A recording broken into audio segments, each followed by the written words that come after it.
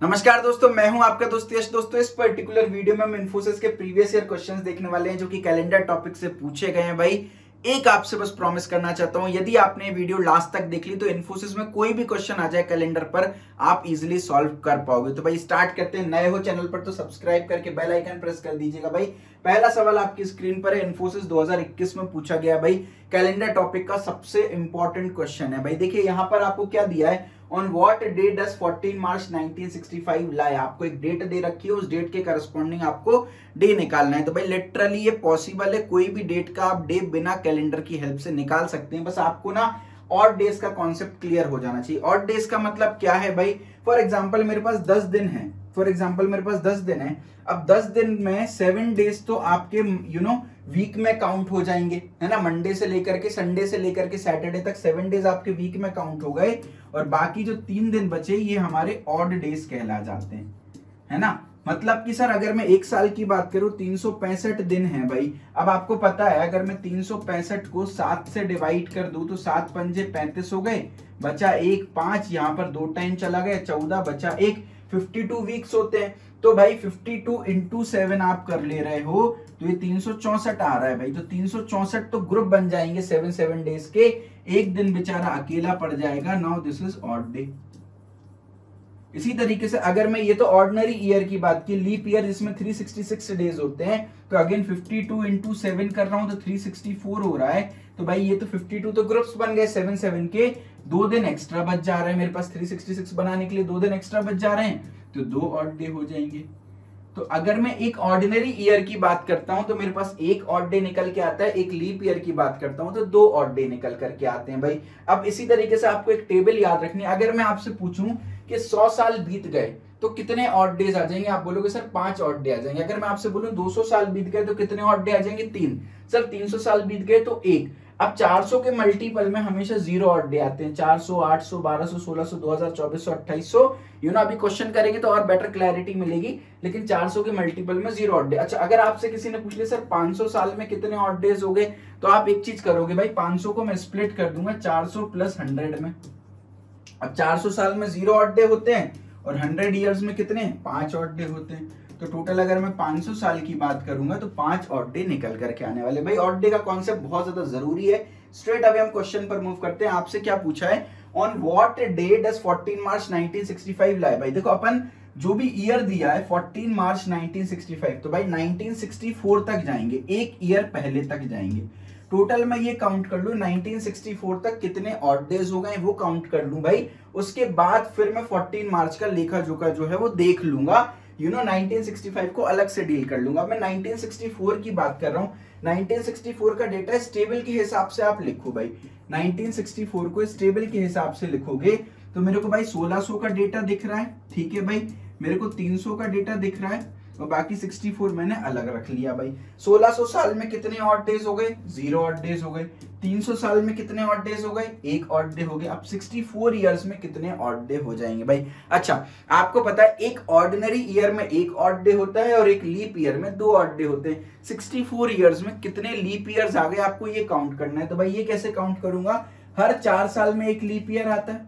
तो अगर मैं इसका चार से डिवाइड कर दू तो सोलह चौको चौसठ होता है। तो यानी ये जो 64 इयर्स हैं, इनमें 16 तो मेरे आ गए लीप ईयर्स और बच्चे 48 ये मेरे आ गए ऑर्डिनरी ईयर्स अब ऑर्डिनरी ईयर्स में, हर एक ईयर में एक ऑड डे होता है तो 48 इयर्स में 48 ऑड डे हो गए और हर एक लीप ईयर में दो ऑड डे होते हैं तो 16 लीप ईयर में 32 ऑड डे हो गए तो अभी तक टोटल भाई यहाँ से ज़ीरो यहाँ से वन आ गया राइट right? और प्लस 48 प्लस 32 इनको ऐड करना जरा 48 50 60 70 80 टोटल मेरे अभी तक 81 ऑड डेज़ आ रहे हैं भाई। और हमेशा जब भी भाई सेवन सेवन के मल्टीपल में कन्वर्ट करते जाओ, भाई बड़ा नंबर आ रहा है सेवन सेवन के मल्टीपल में कन्वर्ट करते जाओ।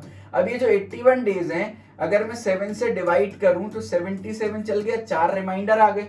तो सेवन सेवन के मैं ग्यारह ग्रुप बना लूँगा, चार बेचारे बच जाएँगे डेज़ तो ये जो 81 है, इसको मैं रिड्यूस करके फोर लिख सकता हूँ। समझ रहे हैं? क्योंकि मैं सेवन सेवन की ग्रुपिंग बना के सेवेंटी सेवन डेज़ मैंने निकाल दिए अल्टीमेटली चार ऑड डे बचे।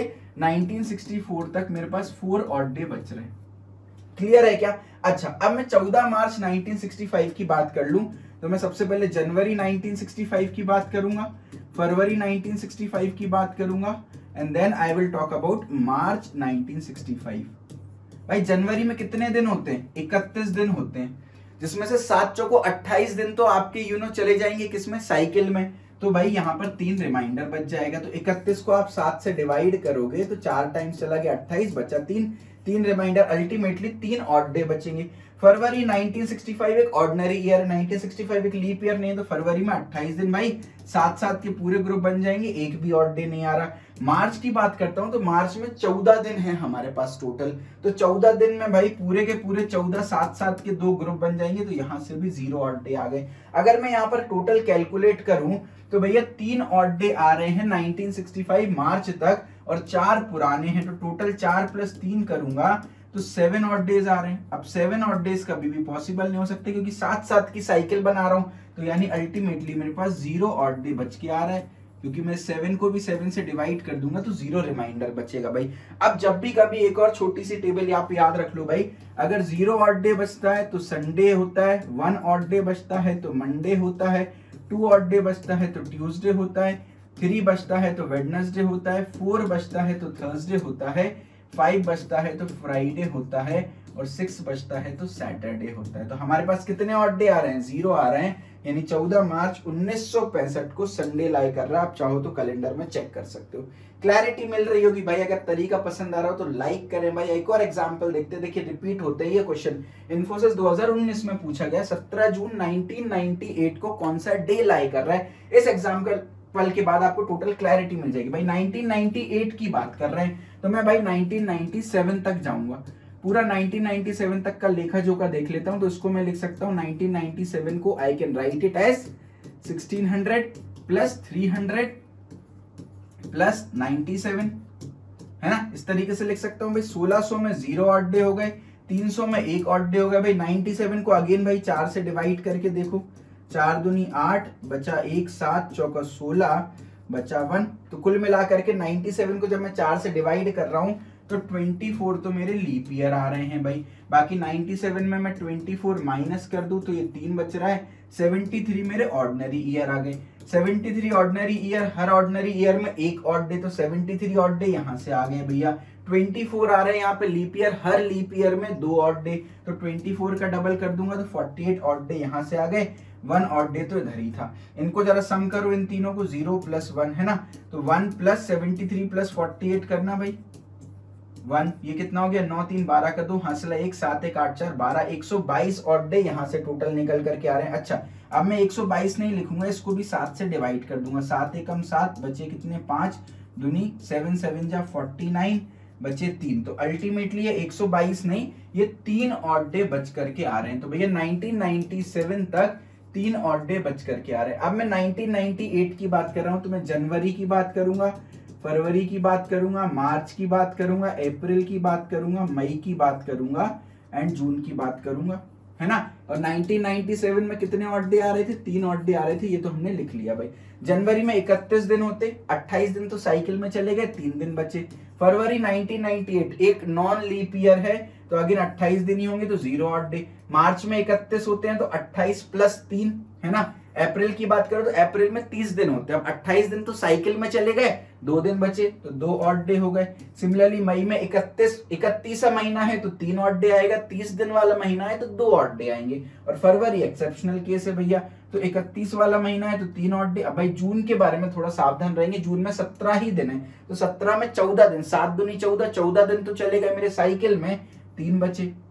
काउंट कर लो, तीन दूनी छह तीन नौ, चौक बारह, तेरह, चौदह, और तीन ये पंद्रह, सोलह, सत्रह मेरे टोटल यहाँ पर ऑड डेज़ निकल करके आ रहे हैं। सत्रह में भी चौदह साइकिल में चले गए। अल्टीमेटली मेरे पास तीन ऑड डे निकल के आ रहे हैं। ज़ीरो मतलब संडे, वन मतलब मंडे, टू मतलब ट्यूसडे, थ्री मतलब वेडनेसडे, सत्रह जून 1998 को हमारा वेडनेसडे होने वाला है। भाई देखिए कितना आसान तरीके से हमने निकाल लिया।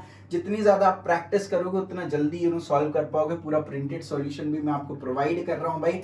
एफर्ट पसंद आ रहा हो तो जल्दी से सब्सक्राइब बटन दबा के बेल आइकन प्रेस कर दीजिए। Company wise playlist, topic wise playlist, job notification live streams, complete placement preparation हम हर एक आईटी कंपनी की यहाँ पर आपको करा देने वाले हैं। चलिए भाई, अगले क्वेश्चन पर मूव करते हैं। इन्फोसिस 2020 में पूछा गया था। क्या दिया है क्वेश्चन में भाई? क्वेश्चन बोल रहा है कि पाँच मार्च 1999 को फ्राइडे था और आपसे पूछा गया है कि पाँच मार्च 2000 को कौन सा दिन होगा? यानी एग्जैक्टली exactly एक साल के बाद। तो भाई, जब भी ऐसा केस आए कि भाई यहाँ पर डेट सेम है मंथ सेम है ईयर अकेली डिफरेंट कर दिया। तो आप कैसे कैलकुलेट करोगे? अच्छा पाँच मार्च 1999 से 2000 के बीच में टोटल एक साल आ रहा है। लेकिन अगर आप 2000 को ऑब्ज़र्व करो तो 29 फरवरी भी आ रही होगी, है ना? Because 2000 is a leap year तो यहाँ पर अगर आप ध्यान से देखोगे तो ये एक लीप ईयर वाला केस बन गया। तो साल में तीन नहीं है टोटल तीन सौ छियासठ दिन का गैप होगा इन दोनों के बीच में। और तीन सौ छियासठ दिन में दो ऑड डे होते हैं। तो फ्राइडे से फ्राइडे तक की तो साइकिल चली गई होगी, लेकिन दो ऑड डेज़ बच रहे होंगे तो प्लस टू करोगे। तो फ्राइडे के बाद सैटरडे सैटरडे के बाद संडे आपका डायरेक्ट आंसर निकल करके आने वाला ऑप्शन है क्या Sunday yes option B is the correct answer देखिए, कितने सिंपली आप इस क्वेश्चन को सॉल्व कर पाइए ट्रिक लगा करके। भाई, पसंद आ रही हो ट्रिक तो भाई लाइक ज़रूर करें। पूरा प्रिंटेड सॉल्यूशन ये कन्वेंशनल मेथड है, इसको यूज़ नहीं करना। मैंने तो आपको बस बताया है कि मैंने आपको कितनी औसम ट्रिक दी है। आपको इतना खतरनाक सॉल्यूशन यूज़ नहीं करना है। सीधा सीधा ट्रिक यूज़ करो। अच्छा एक और एग्ज़ाम्पल हम सॉल्व करते हैं। पाँच जनवरी दो हज़ार एक को मंडे है। तो 5 जनवरी 2009 को क्या होगा? अगेन देखो केस क्या है? डेट और मंथ सेम है, केवल ईयर बदल गया। अच्छा 2001 से लेके 2009 के बीच में कितने साल हो गए? एट ईयर्स हो गए। सर कैसे निकाला? माइनस कर दिया भाई। इन दोनों को माइनस किया। एट आ गया टोटल एट ईयर्स का डिफरेंस आ गया। अच्छा अब इन एट ईयर्स में अगर आप गौर से देखो तो 2004 और 2008 जो है, वो लीप ईयर है। बाकी सभी ऑर्डिनरी ईयर है। तो इन एट ईयर्स में टू आपके लीप ईयर्स आ गए। बाकी आपके सिक्स जो है वो ऑर्डिनरी ईयर्स आ गए टू लीप ईयर मतलब चार ऑड डे हर लीप ईयर में दो ऑड डे होते हैं। सिक्स ऑर्डिनरी ईयर्स मतलब सिक्स ऑड डेज़ तो चार और छह टोटल मिलाकर के टेन ऑड डेज़ हो रहे हैं भाई। टेन में से सेवन डेज़ तो साइकिल में चले जाएँगे। सेवन सेवन की अल्टीमेटली थ्री ऑड डेज़ बचेंगे। है ना? अल्टीमेटली थ्री ऑड डे बचेंगे। तो इस मंडे में मैं क्या कर दूँगा? प्लस थ्री कर दूँगा। तो मंडे के बाद Tuesday Wednesday and Thursday plus three करने पे थर्सडे आ रहा है। तो यानी 5 जनवरी 2009 को आपका थर्सडे निकल करके आने वाला है। एक रिवर्स एग्जांपल और देख लेते हैं। भाई, अभी तक हम सर प्लस क्यों कर रहे थे? क्योंकि आपको एक पास्ट की डेट दी थी फ्यूचर के बारे में पूछा गया था। अब इस क्वेश्चन में देख लो फ्यूचर की डेट दे रखी है पास्ट के बारे में पूछा गया भाई तो माइनस कर देंगे। भाई अगेन पैटर्न सेम यूज़ करेंगे। देखो भाई डेट और डे आपका सेम आ रहा है। ईयर में एट ईयर्स का गैप आ रहा है। बीच में अगेन वही 2004 और 2008 दो लीप ईयर पड़ रहे हैं। तो दो लीप ईयर छह ऑर्डिनरी ईयर दो लीप ईयर में चार ऑड डेज़ छह ऑर्डिनरी ईयर में छह ऑड डेज़ चार और छह total ten odd days ten में से सेवन साइकिल में कंज्यूम हो गए। अल्टीमेटली थ्री ऑड डेज़ मेरे पास बच रहे हैं। तो इस बार मैं क्या करूँगा मंडे में तीन माइनस कर दूँगा। पिछले केस में मैंने प्लस किया था, यहाँ पर मैं माइनस कर देने वाला हूँ। तो मंडे से तीन दिन पीछे जाओ। एक दिन पीछे संडे दूसरे दिन पीछे सैटरडे तीसरे दिन पीछे Friday will be the correct answer of this particular question भाई अगले क्वेश्चन पर मूव करते हैं in the month of October in a year has exactly four Mondays and four Fridays. Find what day of week will be on 20th of November of that year. Infosys 2019 में पूछा गया था अगर मैं आपको एक जल्दी से कैलेंडर बनाकर दिखा दूँ, तीन, चार, पाँच छ सात राइट इस तरीके का कैलेंडर होता है, जहाँ पर यहाँ संडे लिखा होता है, यहाँ मंडे यहाँ पर ट्यूसडे यहाँ वेडनेसडे यहाँ थर्सडे यहाँ फ्राइडे यहाँ सैटरडे इस तरीके से लिखा होता है भाई कैलेंडर में राइट इस तरीके से लिखा होता है। अब आप यहाँ पर देखो भाई, चार मंडे आने वाले हैं और चार फ्राइडे आने वाले हैं। तो अगर मैं कैलेंडर को यहाँ से शुरू कर दूँ फॉर एग्ज़ाम्पल ट्यूसडे से शुरू कर दूँ। ट्यूसडे को एक तारीख, दो तारीख, तीन तारीख, चार तारीख, पाँच तारीख, छह, सात, आठ, नौ, दस, ग्यारह, बारह तेरह चौदह पंद्रह सोलह सत्रह अठारह उन्नीस बीस इक्कीस बाईस तेईस चौबीस पच्चीस छब्बीस सत्ताईस, अट्ठाईस, उनतीस, तीस, इकतीस। इकतीसा महीना है। अगर अब आप गौर से ऑब्ज़र्व करो, अगर मैं ट्यूसडे पे महीना स्टार्ट कर रहा हूँ तो देखो पाँच ट्यूसडे पाँच वेडनेसडे पाँच थर्सडे आ गई, लेकिन मेरा मंडे और फ्राइडे एग्जैक्टली चार ही आया। तो यही कैलेंडर हम फॉलो करने वाले हैं। ट्यूसडे से स्टार्ट करेंगे थर्सडे पे हम खत्म करने वाले हैं। आपको नवंबर का डेटा पूछा गया बच्चा अक्टूबर का नहीं तो अक्टूबर आपकी थर्सडे को शुरू हो जाएगी। तो यानी एक नवंबर को मेरा फ्राइडे होने वाला है। अब एक नवंबर को फ्राइडे है तो एग्जैक्टली exactly सात दिन बाद, यानी आठ नवंबर को भी फ्राइडे होगा। अगेन सात दिन बाद देखो तो पंद्रह नवंबर को भी फ्राइडे होगा, सोलह नवंबर को सैटरडे, सत्रह नवंबर को संडे, अठारह नवंबर को मंडे, उन्नीस नवंबर को ट्यूसडे, बीस नवंबर को आपका वेडनेसडे निकल करके आने वाला है। तो मेरे ख्याल से क्लैरिटी मिली होगी भाई। चार मंडे, चार फ्राइडे चाहिए था, इसलिए हमने ट्यूसडे से मंथ स्टार्ट कर दिया भाई। Again Wednesday is the right answer आपको पूरा का पूरा प्रिंटेड सॉल्यूशन मैं प्रोवाइड कर रहा हूँ भाई। एफर्ट पसंद आ रहा हो तो लाइक कर दें। चलिए, मैं उम्मीद करता हूँ कैलेंडर टॉपिक पर आपको अच्छी खासी क्लैरिटी मिल गई होगी। जल्दी से एक होमवर्क क्वेश्चन है ट्राई करें और कॉमेंट सेक्शन में अभी के अभी मुझे आपका आंसर चाहिए। विद्यार्थी कर्तव्य है सब्सक्राइब करें। दोस्तों, में वीडियो शेयर करें और इस चैनल पर जितनी भी वीडियोस हैं, आपके लिए बहुत हेल्पफुल हैं। सारी वीडियोस देख डालें। Love you all bye take care